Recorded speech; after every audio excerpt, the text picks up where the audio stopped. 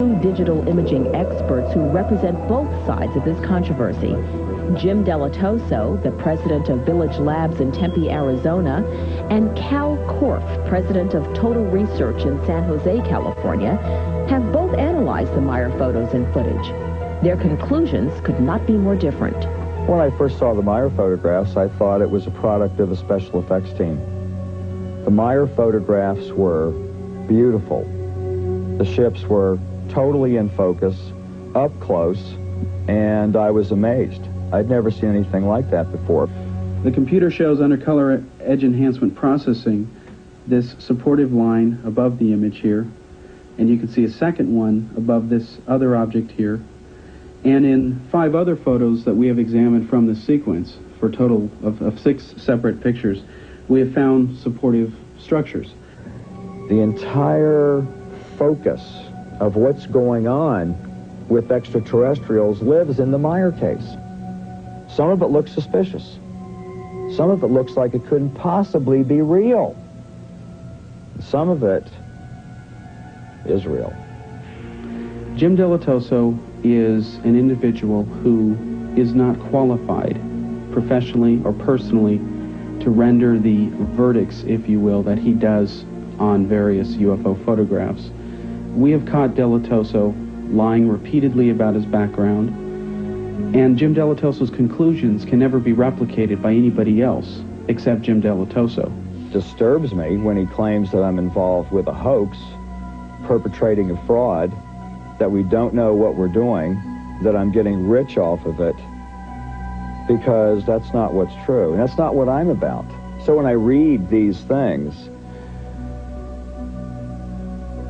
I don't like it. Joining us in studio are Jim Dilettoso and Kal Korff. Jim's among the staunchest supporters of the Meier evidence. Now Kal Korff feels quite differently. Kal believes that the Meier footage is simply not credible. Kal, why do you feel that way? Uh, well, I've been to Switzerland, unlike Mr. Dilettoso, and I've examined the evidence firsthand. When you go to the actual locations where the images were taken, it is not possible for them to be framed or filmed the way that Billy Meier claims, and anyone can go there and independently check that themselves. Now, Jim, you've come up with some very different conclusions. Yes.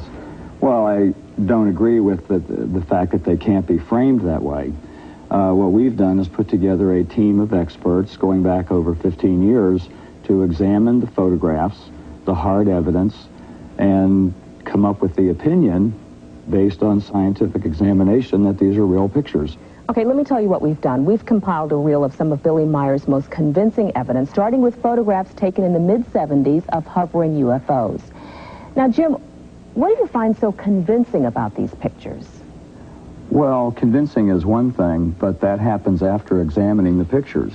We never say, this is a UFO, or this is a flying saucer. We say, this is a large object, or this is a small object, and we find no evidence of a hoax.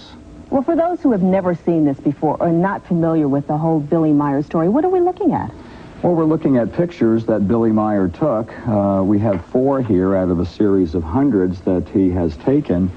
And uh, this is a picture of a ship known as the Beam Ship that could be just in front of or just behind the tree.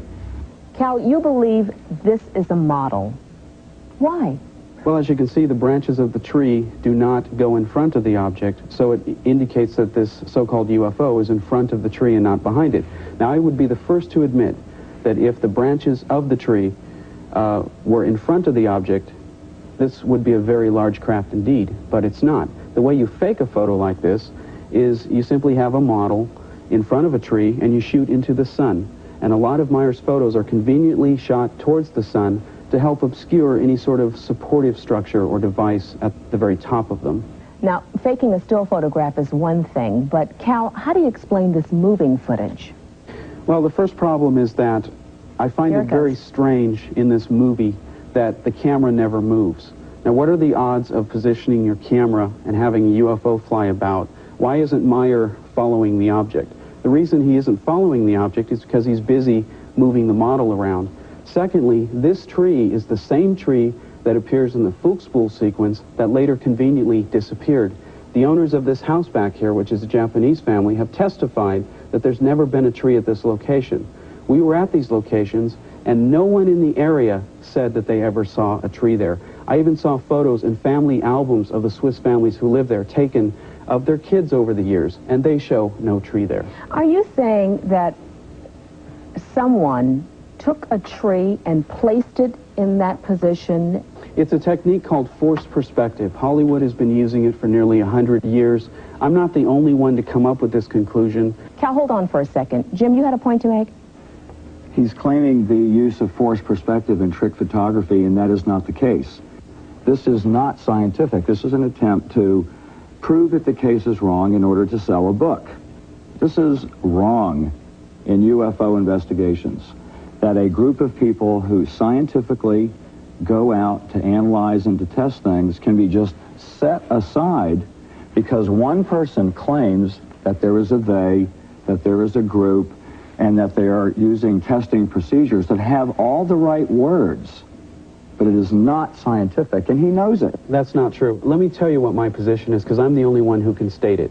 I'm a UFO researcher first and fo foremost. I'm after the truth. I don't care what that truth is.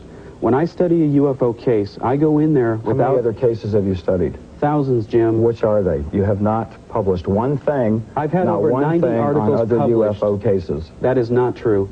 I can send you, I have tons of newspaper clippings over the year. The producers have those here. I just don't understand. What do you think the motivation would be for someone like a Billy Meier to to create such an elaborate hoax as you say it I, is? Why? I do not address motivation in any of my work because there's no way to scientifically test for it. All I do is say, of all the evidence they offer, this is how it seems to stand up, this is how it seems not to stand up.